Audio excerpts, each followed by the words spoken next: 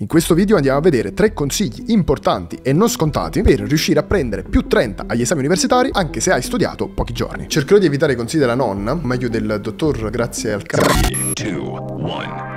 Il web purtroppo è pieno di questi consigli su come prendere 30 del tipo parla a parole tue oppure quando non sai una parola cercala sul vocabolario Insomma, non ti darò questo tipo di consigli perché il web è pieno di consigli della nonna che o li possiamo dare per scontato oppure non è che impattino così tanto sul voto, cioè impatta di un 5%. I consigli che voglio darti io impattano secondo me del 200% su quello che è il tuo voto. Infatti, anche le tecniche che insegniamo in generale come metodo universitario, cerchiamo sempre di dare delle cose che impattano veramente in maniera consistente perché ci sono tanti consigli lì fuori. Però cioè, non servono quasi a niente, ok? Comunque, a parte questo, partiamo con questi tre consigli. Allora, il primo consiglio è quello di cercare di andare all'esame con una preparazione impossibile. Che vuol dire impossibile? 30 vuol dire eccellenza. Eccellenza vuol dire cercare di fare all'esame delle cose che per gli altri sono invece impossibili. Ci sono i comuni mortali che studiano con gli evidenziatori, legge, ripeti, riassunti, che impiegano tantissimo tempo per inserire dettagli tecnici o comunque i discorsi all'interno della propria mente. E ci sono delle tecniche di memoria come quella del palazzo della della memoria, che è una tecnica di memoria che utilizzava Giordano Bruno, Cicerone, Pico della Mirandola, il poeta Petrarca anche, che è una tecnica che ti permette di memorizzare una grande quantità di informazioni istantaneamente a lungo termine. Se vai nel link in descrizione trovi anche il videocorso Laurea Lampo che è gratuito e dove ti insegno a utilizzare questa tecnica o il videocorso sopra in un giorno e dove troverai le basi per iniziare ad applicare il metodo universitario. Però ora, tornando a noi, io avevo sempre avuto una memoria scarsa, i miei amici mi chiamavano pesciolino rosso e quindi faticavo tanto per poi ricordare poco. Ora, ricordare non sempre basta perché poi dobbiamo allenare anche l'esposizione e la comprensione prima, però aiuta molto perché alla fine non prendiamoci per il culo, capire non basta gli esami, devi ricordare tante cose, tante informazioni per quelle che sono. Quindi la memoria è una cosa importante per quanto alcune persone con un po' di ipocrisia dicono no, eh no, l'esame non è memoria. Ma se capisci le cose tu poi te le ricordi. Eh, che cazzo sta di?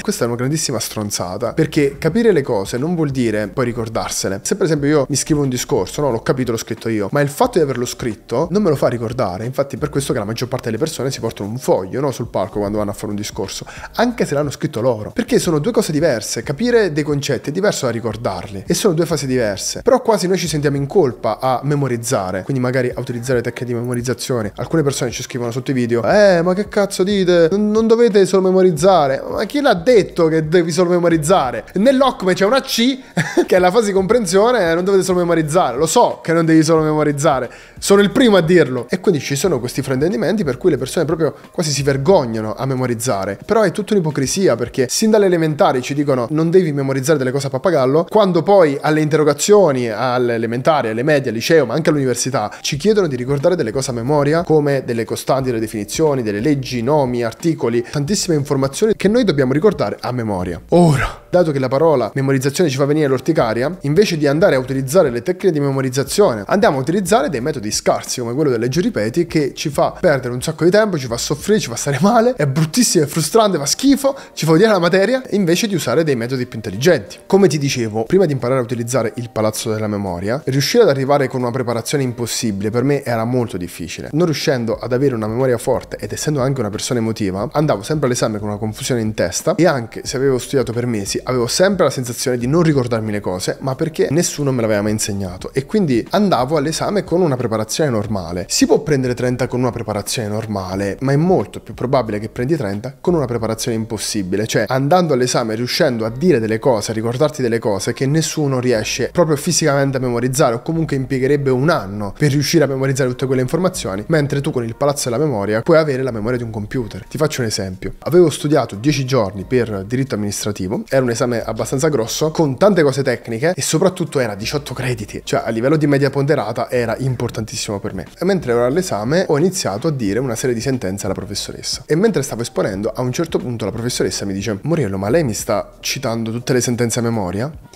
E ho fatto sì.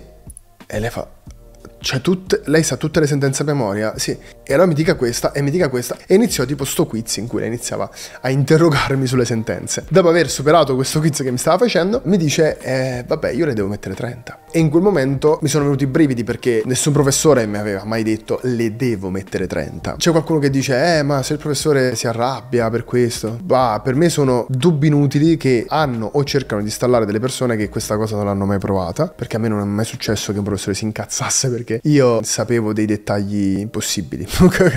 Erano solo stupiti e meravigliati e contenti del fatto che io avessi quel tipo di preparazione. Quindi il primo consiglio è avere una preparazione impossibile. Tu mi dirai, Giuseppe, come devo fare? Trovi il link in descrizione. Secondo consiglio, questo anche è importantissimo, è studiare la cattedra prima di aprire il libro. E che cosa vuol dire? Questo è un errore che facevo anche io. Cioè, andavo a studiare il libro con delle ipotesi su come sarebbe stato l'esame, su come mi avrebbero posto le domande, su quali fossero le cose più importanti su cui mi dovevo concentrare. Il libro va aperto dopo aver capito come si svolgerà l'esame, perché è la cosa che andremo ad affrontare. Cioè, questa è una cosa molto importante. Noi la chiamiamo strategia d'esame, questa, cioè riuscire a capire qual la strategia migliore per riuscire a dare quell'esame in 7 giorni, cercando di prendere ovviamente 30 o comunque un voto alto. E andare a capire come andare a preparare l'esame, che è diverso da studiare il libro. E tu mi dirai, Giuseppe, ma eh, io per preparare l'esame devo studiare il libro.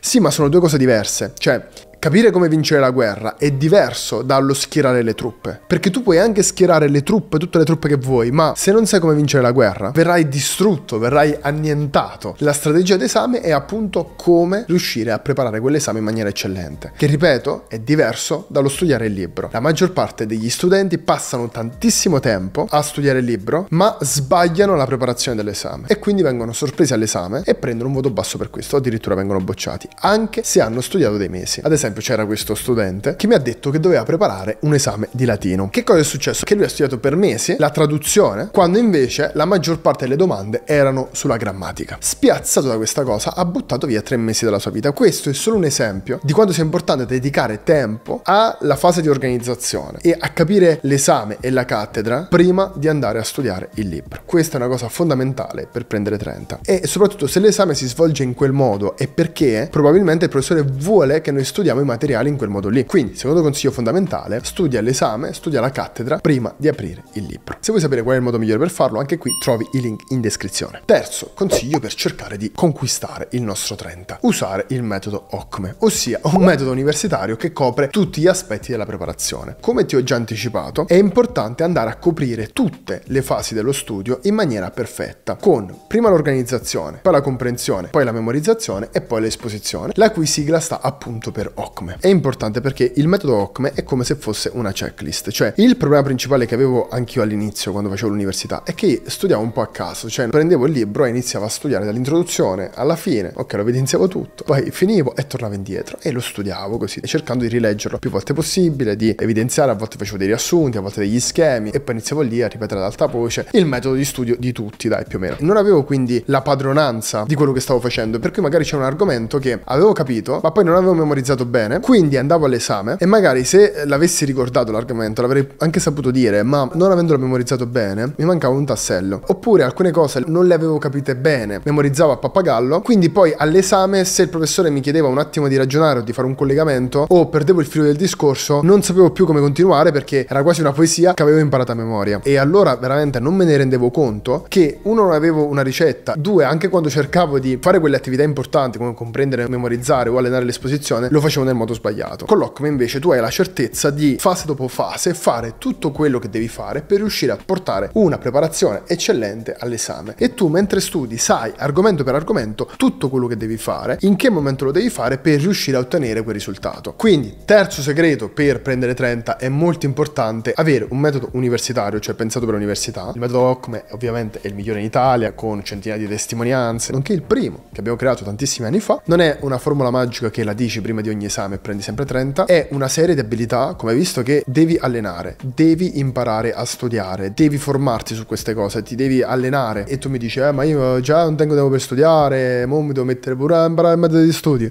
Eh sì, come imparare a portare la macchina?